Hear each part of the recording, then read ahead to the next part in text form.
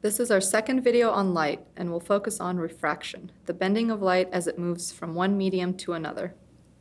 Light bends as it travels from air into water. This occurs because light travels more slowly in water than in air.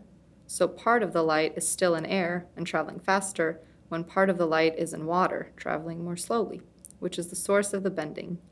How much light slows down is described by a dimensionless parameter known as the index of refraction, n, which can be looked up for a lot of substances.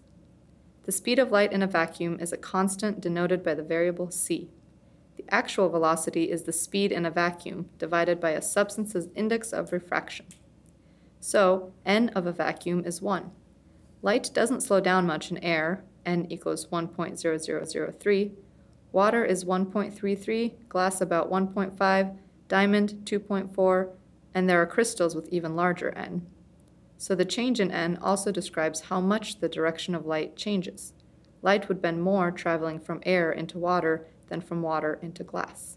Here we can see light traveling into glass. We draw in the normal to the air-glass interface and measure angles with respect to it.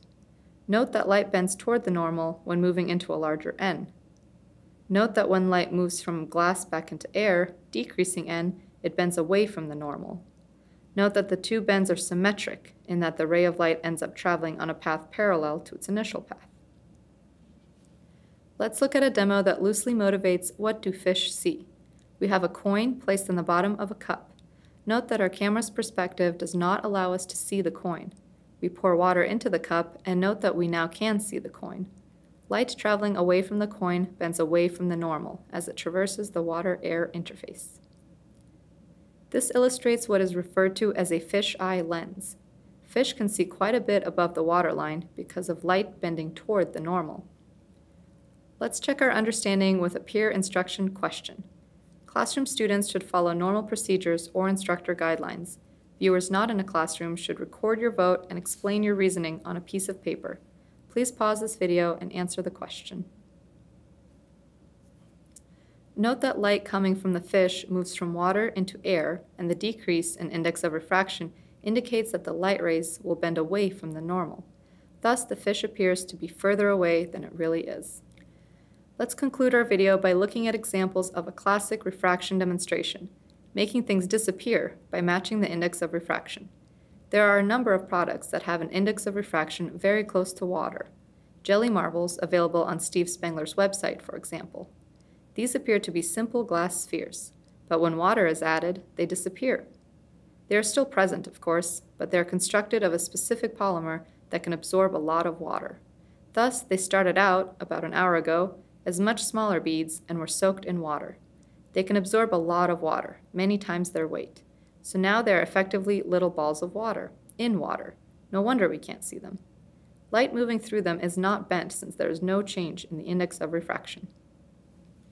Here I have placed a Pyrex test tube in a beaker of water. Note that the test tube is apparent due to the difference in the indices of refraction.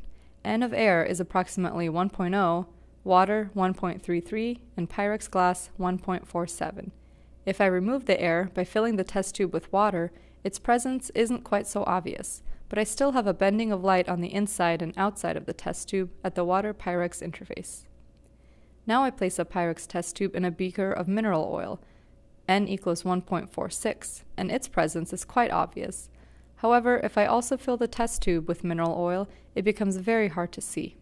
We have very closely matched n of Pyrex of 1.47 with that of mineral oil 1.46. This slight difference in n keeps it from disappearing completely, and the dirt and scratches on the glassware also contribute.